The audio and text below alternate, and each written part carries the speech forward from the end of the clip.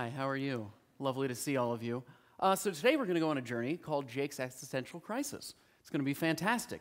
And in this existential crisis that I have generally always, we're going to talk about the digital self, that version of us that we like to share online. Because I think instinctively we all like to share ourselves, right? We like to have people think that what we think is important, that we're valuable, that we matter.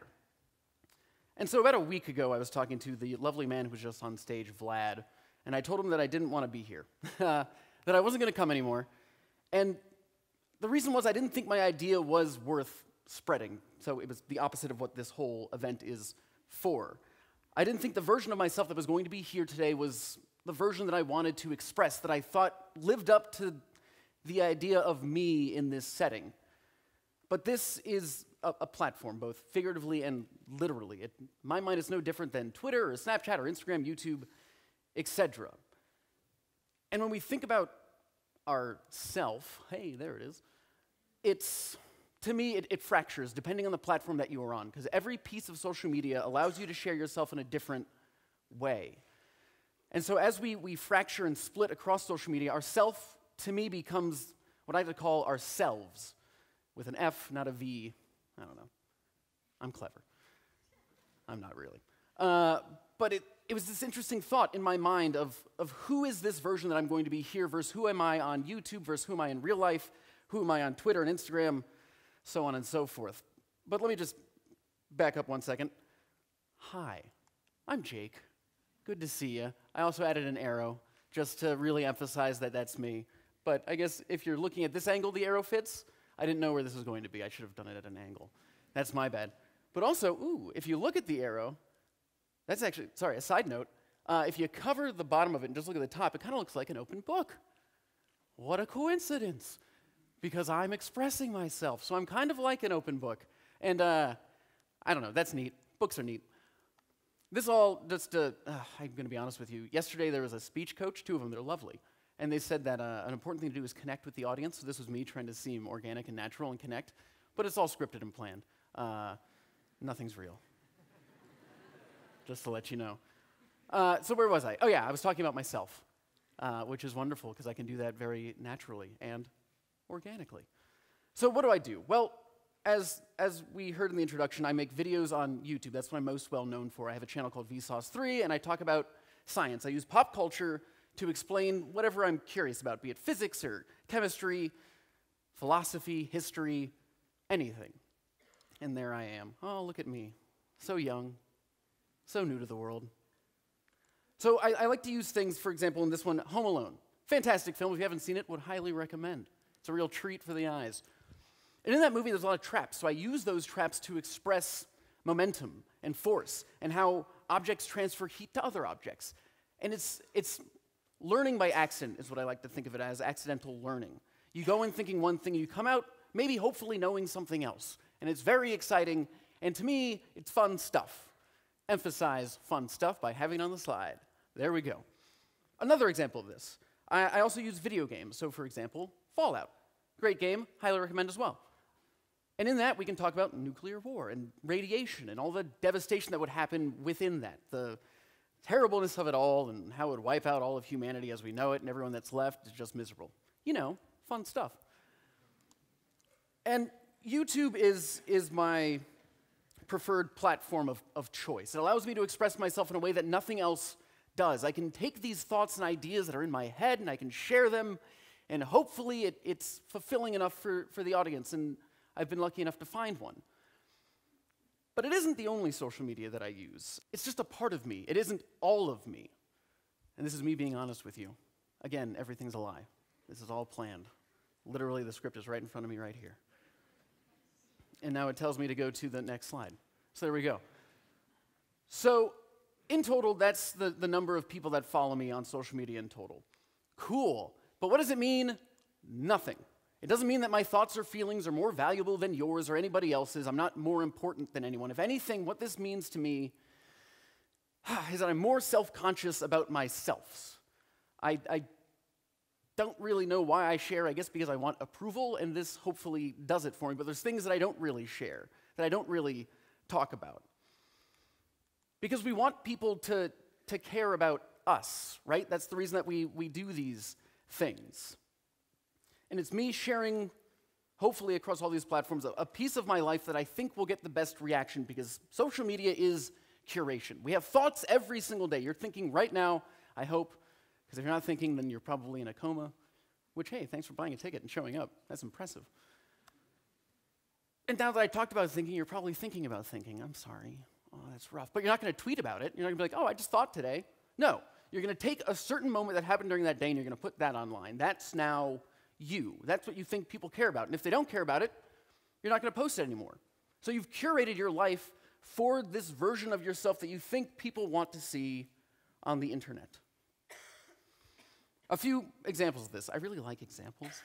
As I used to have a show called Fact Surgery, which was a stop motion animation show, because I love stop motion. I think stop motion is one of the most beautiful ways to express oneself in the form of, of animation and video.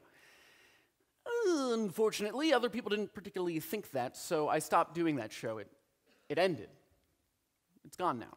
Even though it's still important to me in here and in here, but to an audience, they didn't like it, so I'm done. Another uh, kind of stupid example who here has like an Apple Watch or a smartwatch? Woo! There's like five of us, we did it. Yay! we can share each other's heartbeats later. Um, so I thought it was a really cool thing when I got it. I was like, this is awesome. And I apologize, you have to look at this GIF forever. I didn't come prepared with other slides. Um, but I, I made it, I posted it, and the, then people were like, no, you're an idiot. Apple's stupid, you're stupid, I respect you less. Literally, that was one of the comments I got, was that people respected me less. So I deleted that Instagram post, and I never talk about Apple ever again. And I don't post that kind of stuff anymore. It's changed. Uh, hmm. So, where to go from here? I'll just give you a second to read that and on to the next. What we post online, in my mind, is supposed to be a reflection of us, but I think what it's become is a reflection of what we want people to think that we're like, the ideal version of ourselves. It's personality by committee. We strip the things that we like and we, we save them. We hold on to them for later to then share with others. So, what are we left with? I don't know, but not something that I particularly like. I'm just left with the things that I don't really want anymore because I've given the things that I do like to other people. That's theirs now. Yay! You can have it, but it's a little appetizer. It's popcorn. It's not something real. And so every time I post, every time I post a video is like the happiest that I am.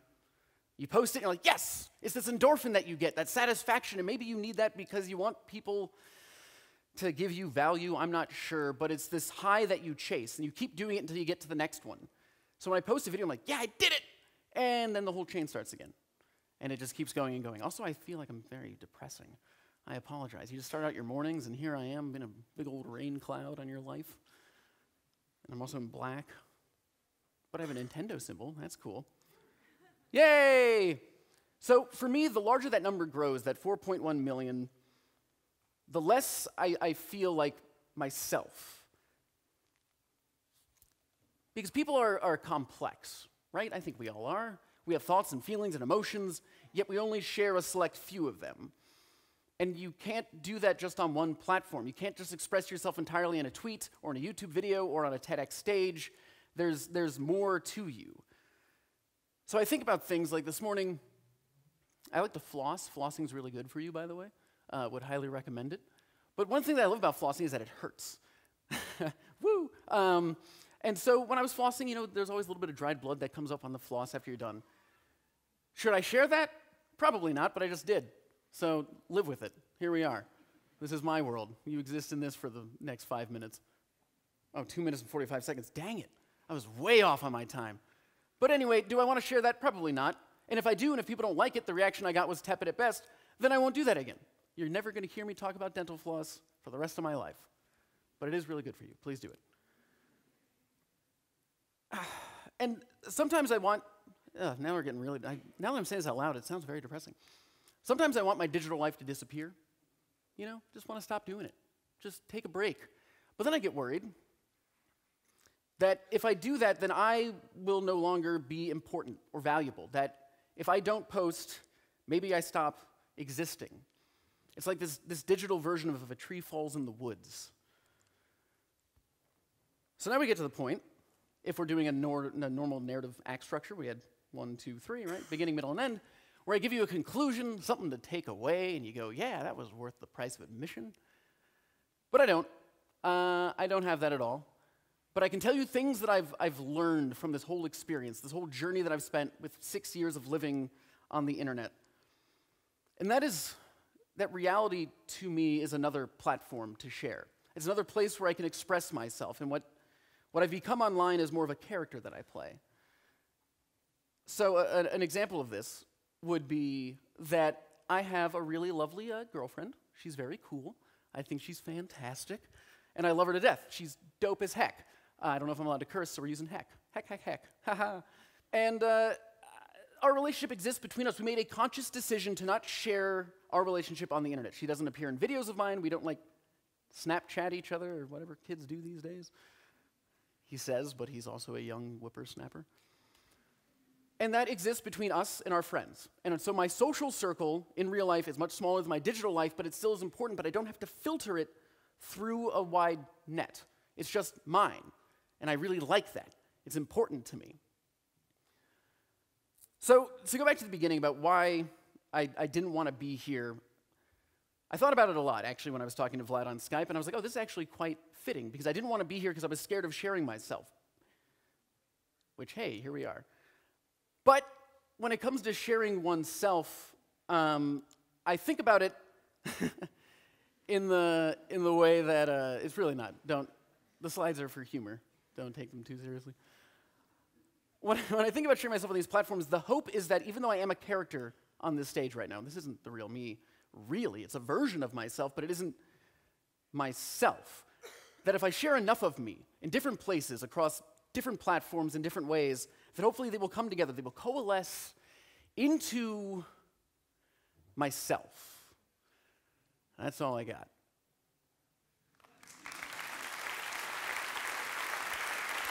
Thank you. Thanks.